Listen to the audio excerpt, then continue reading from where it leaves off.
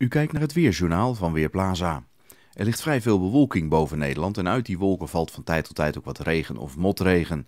Dat zien we in de ochtend met in het zuidoosten nog eventjes droog weer, maar daar later ook wat lichte neerslag.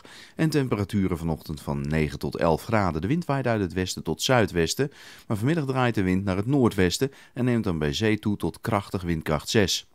De regen trekt geleidelijk naar het oosten. Het wordt van het westen uit droog en voorzichtig begint het ook wat op te klaren bij 12 tot 15 graden.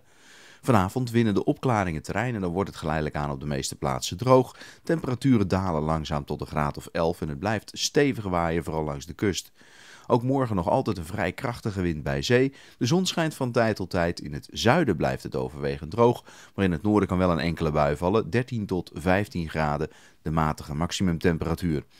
Maandag, dinsdag en woensdag verandert er wat temperatuur betreft niet heel veel. Gemiddeld zo tussen de 13 en 16 graden maximaal. Maandag is de regenkans duidelijk wat groter. Dinsdag en woensdag hebben we weer meer ruimte voor de zon. Ik ben Marco Verhoef van Weerplaza.nl